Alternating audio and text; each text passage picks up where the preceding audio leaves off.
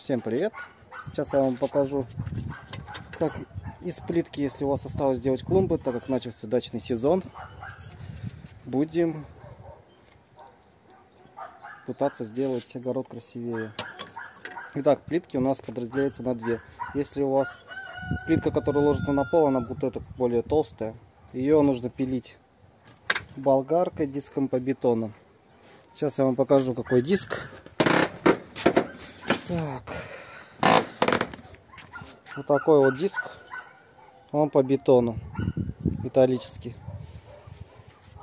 Плитка, которая толстая по полу. Ее нужно пилить только им. Вы не сможете ее сломать и ничего с ней сделать. Так, а если у вас обычная плитка,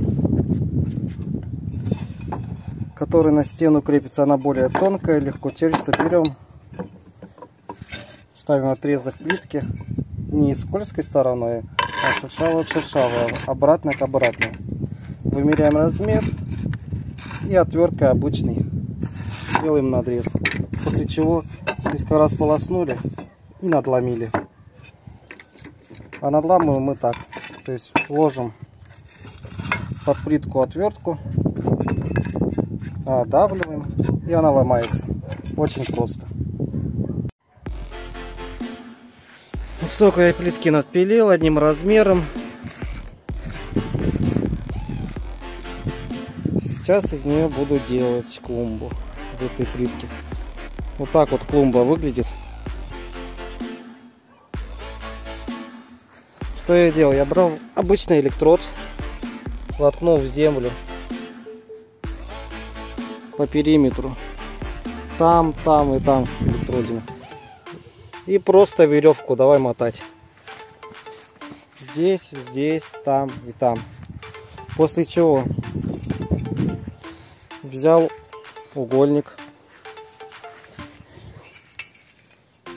Ставил ровно к углу. И, замерил, ровные углы нет.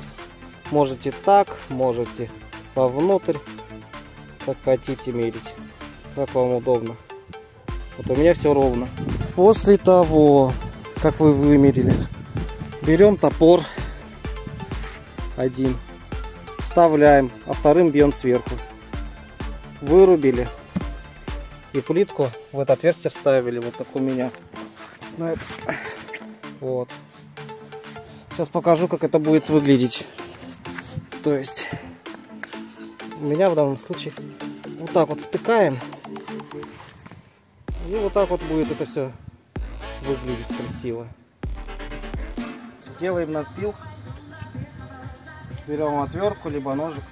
Ну ты покажи с этой стороны. Что делаем?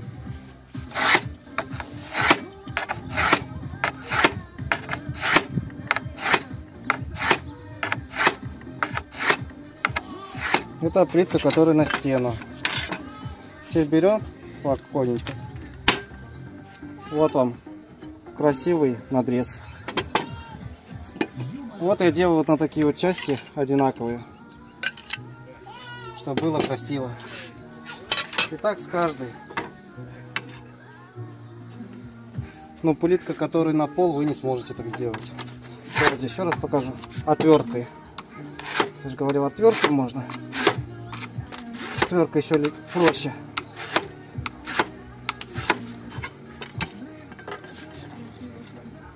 Берем, подкладываем отвертку сюда вот. Вот и все. Простенько как. Вот так вот все вышло.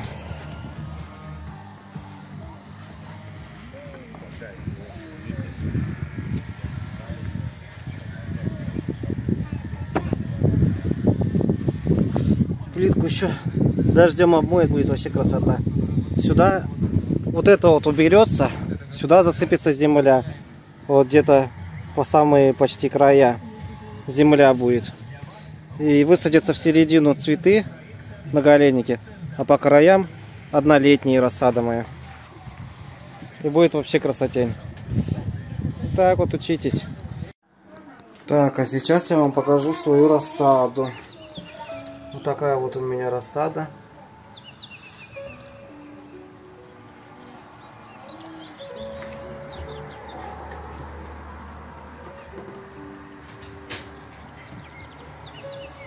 Вот из семечек ее высадил, вырастил.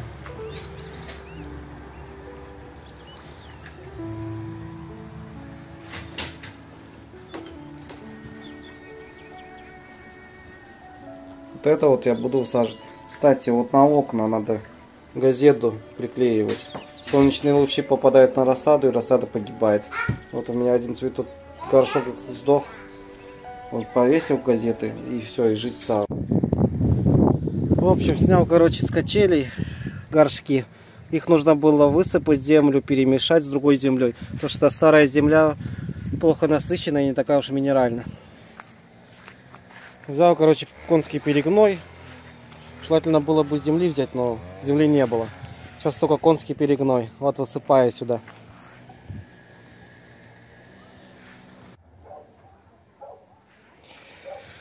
Так вот разровнял землю.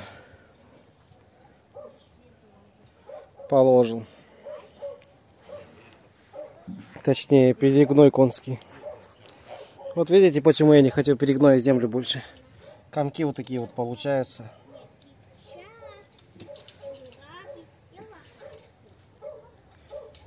Да и в говне неприятно ковыряться. Вот так вот выглядит. Высадил рассаду. Цветы у меня там какие-то длиннолепестковые. Потом вот этот цветы вулкан. Очень интересно, как они будут выглядеть, эти вулканы. Будут много мелких листочков типа расти. Не знаю, посмотрим. Вот, как я обещал, высадил однолетники все. Все разные. И сюда в центр многолетники. Сейчас я вам покажу, как у меня выросли многолетники, которые в прошлом году садил. Вот у меня многолетники. Это гехера растет. Вот это растет фанай у меня. Вот какой фанай уже. Это хоста голубая. Это пион обычный.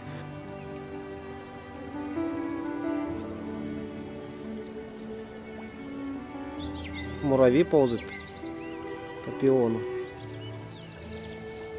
Кстати, с дачи выкопал марикорешку. Уже 4 года или 5 лет растет и постоянно выцветает. Просто нашел маленькую марикорешку, пересадил, вон какая здоровая. Каждый год радует.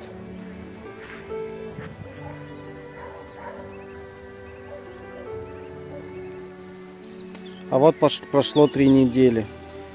Марикоришка выглядит вот так вот через три недели. Спустя три недели марикорешка вот так вот выглядит.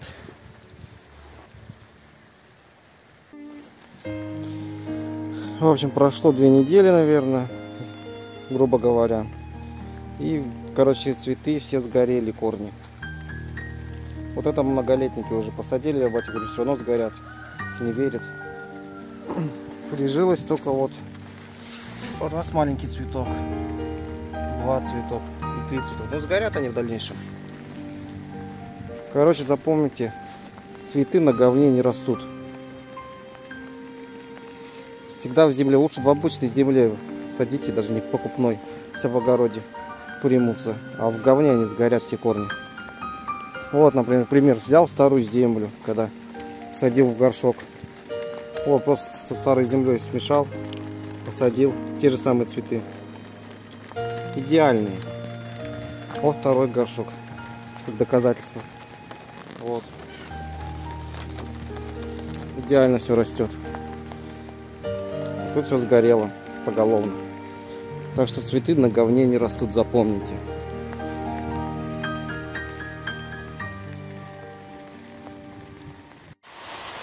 С этими цветами получился какой-то блокбастер.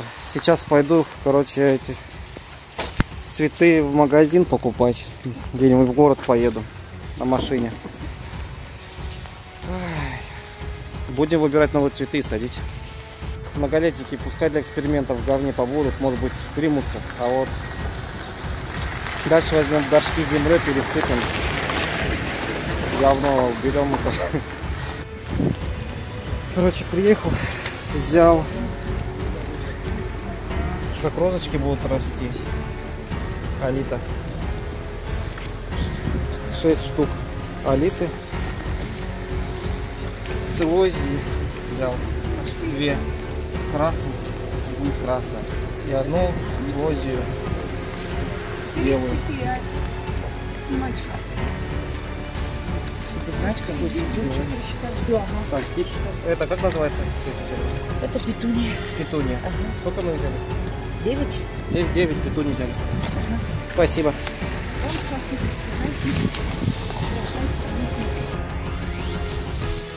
В общем, как я сделал?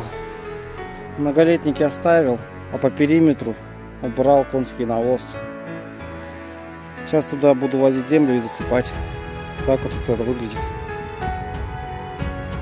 Запомните поговорку «Цветы в вазе, говно в унитазе».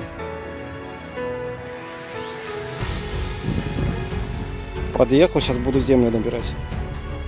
Телегу. Короче, насыпал землю по периметру. И остатки живых цветов, которые не догорели. Вот более-менее зелененькие. Вот что-то там более-менее. Вот в этом ряду я их высадил. Чисто один ряд. Остался живой. Почти жив вообще. Вот высадил цветы однолетники. Вот здесь вот покупные в землю. И в, самом краю здесь в ряд те, которые остались живые, счастливчики, которые прошли жесткое испытание.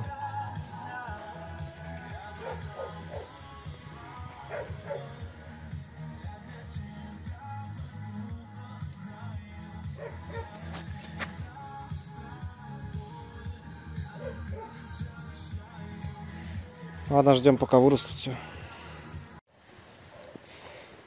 Идет дождь, прошли ровно сутки. Вот мы и дождались. Вот так вот наши цветочки выглядят.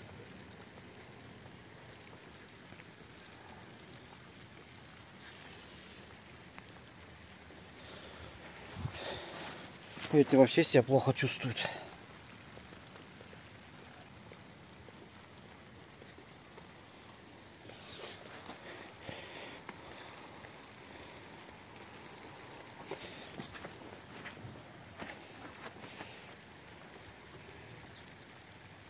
Скорее смотри в небо. Самолеты!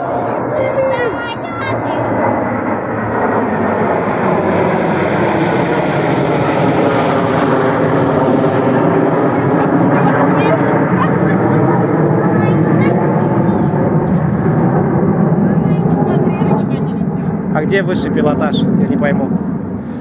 Ужас.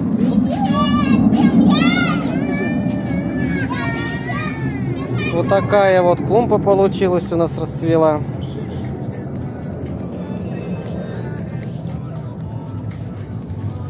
Вот такие вот лампочки поставили. Ночь наступает, они прям ярко светят.